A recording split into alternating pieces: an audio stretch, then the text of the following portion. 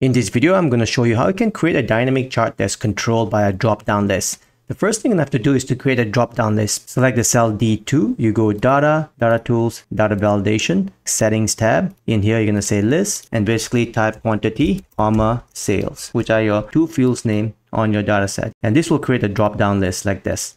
Next, to create a dynamic table, we're going to use a function called chooseCol with the first argument being the dataset table and the second argument will be the column say number one column and number two column. This will give you a table with a name and a quantity field. If you were to adjust the third argument to say number three, it will give you the third column, which is your sales column here.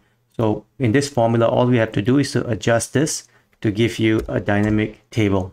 In order to make the third argument on the choose column dynamic, let's use a match function. The first argument would be the field in cell D2, which is our drop-down list. The second argument would be the field name from your data set. And then the third argument would be zero for the exact match. As you can see, when you make changes to your drop-down list, the match values returns the index of the field name. Now, you can insert this match function into our choose column function and this will create a dynamic table. And now all you have to do to create a dynamic chart is to select your dynamic table like this and press Alt F1 to create your dynamic chart.